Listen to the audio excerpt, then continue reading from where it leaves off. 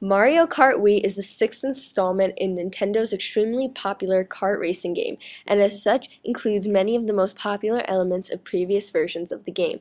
The Wii version is unique as it provides two important new developments, the inclusion of online play using Nintendo's Wi-Fi connection and a novel approach to game controls thanks to the motion sensing abilities of the Wii Remote. Included with the game package is a plastic wheel into which the Wii Remote can be placed. When doing this, the game can be controlled as though holding a steering wheel. Rotating the wheel steers the kart racers and there are just two buttons that need to be pressed. One for the gas and one to activate the various special items that can be collected while racing around the track. There are also special moves that can be activated by shaking the controller. It should be noted that while this is suggested method of playing the game by Nintendo, it is not the only control scheme supported. Mario Kart Wii can also be played using the Wii Remote with the nunchuk plugged in, with the classic controller or with an older GameCube controller plugged into the Wii.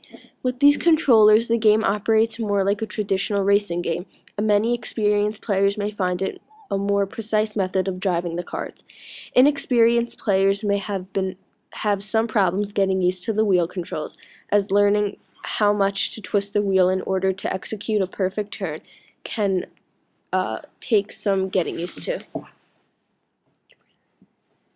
The game features a variety of modes that can be played across the 32 tracks featured in the game while racing as one of the 24 different characters.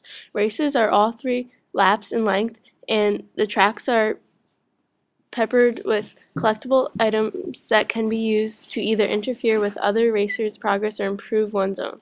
Playing through the race is in a single player mode unlocks new characters and races. Beyond the racing, there are also two battle modes coin runners and balloon battle that take place in enclosed areas and encourage players to bump into each other to achieve the goals.